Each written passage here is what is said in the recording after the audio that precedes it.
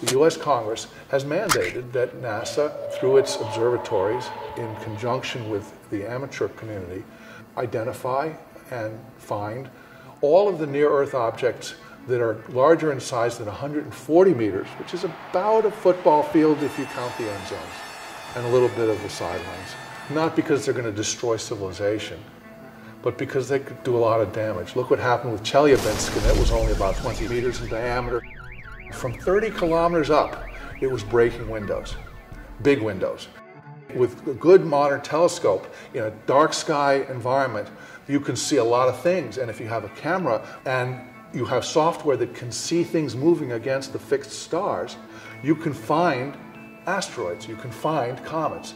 And so this is something that has ballooned in the last 20 years. And there's been a tremendous rise in the number of objects that we've found and then of course track. And if you go onto the Minor Planets Center website, which is maintained by NASA, that will tell you what's out there today, what we've seen lately. It's really interesting to look at the historical rise, exponential rise in the number of objects that we know about in the sky that are potential Earth crossers.